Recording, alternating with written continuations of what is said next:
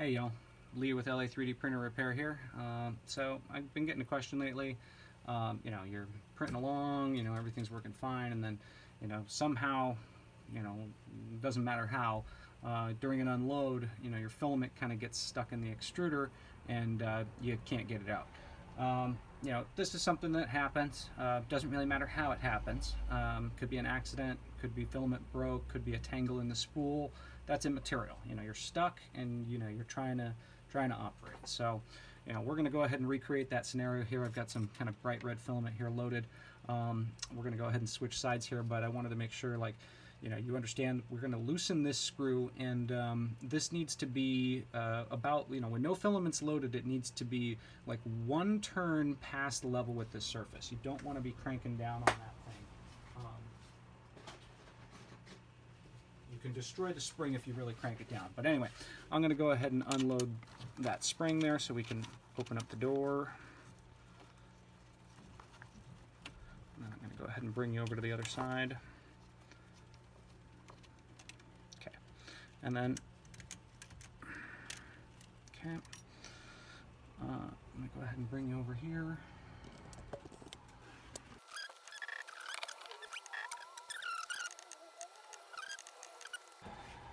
at this point with the idler unloaded you know let me just back up here a little bit you know I can go ahead and just push filament down and it's going to come out the extruder um, you know, the analogy I make with this is it should feel like, you know, pushing a spoon into a jar of cold peanut butter. You should feel restriction, you know, no doubt, but, you know, it should be flowing. You know, you should be able to move that filament downward. Now, if it's clogged, you know, you may need to do a cold pull, but let's just go ahead and cause some, cause some, uh,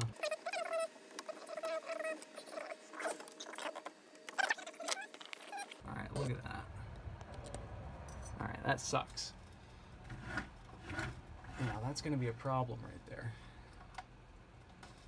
So to get that out, you know, our, I, I, I hope you can kind of see what I'm dealing with here. We got a little chunk of filament that's just right up on top of there. Now, our options for getting that out are kind of obvious. You know, there's two ways out of that hallway.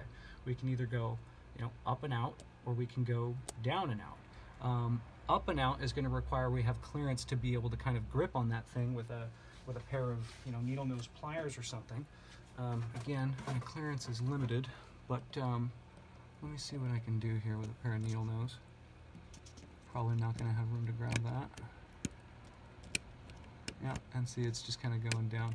You're going to need to be preheated. If you've got enough room, you can try and grab it and pull it out, and then you can just try to, you know, sneak it out. In fact, if you can even kind of get it up a quarter inch where it fits in the gears, you could close the door and then just try and, you know, perform an unload and see if it hopefully feeds straight out.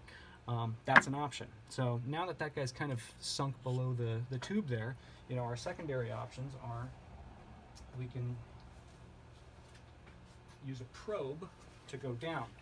Um, I'm just going to go ahead and stick these on the bed here so I can show you guys. So we make probes out of uh, piano wire and um, those work well for us. Included in the kit is a 1.5 millimeter uh, Allen wrench which will work fine. So you know we're going to go ahead and use that guy and I'm going to show you what you need to do. You do need to have your uh, filament auto load turned off. Be focused in here. Let's go ahead and get in there. And so now I do have auto load turned off. And so now I'm going to go ahead and get up in here and I'm going to get squared behind the filament. I'm literally just going to push it down just enough, right? And so now, now that, now that we've got enough clearance there, I can go ahead and take my new filament, straighten it out a bit so that I can get it fed into the top of the hole. Now I can just go ahead and close the door. I can even just hold it manually, and I'm just going to go ahead and load filament and that's going to go ahead and purge that old stuff out of there. And we're loaded. That's really it. So that's kind of your easiest way, assuming you've got the tools to be able to do it. Um, that'll kind of get you going. Um, obviously, the other option is just kind of pull it out the top. Um, so now you're just going to go ahead and resecure your idler screw, which from this side, my rule of thumb is three to four threads exposed and no more than that is really necessary assuming that your nut is properly seated. Um, if it's really up near the surface, then it's going to be less threads, but that's plenty. That's plenty of juice right there from the machine. So at this point, you know, I'm going to go ahead and preheat cool down. But you know, hopefully that's helpful. You know, here's our here's our info if you need us. Um, hopefully you didn't find us because you're stuck, and uh, hopefully you just keep this in your toolkit in case you need us. But um, we're here if you get stuck. Give us a call. Happy to help. Cheers.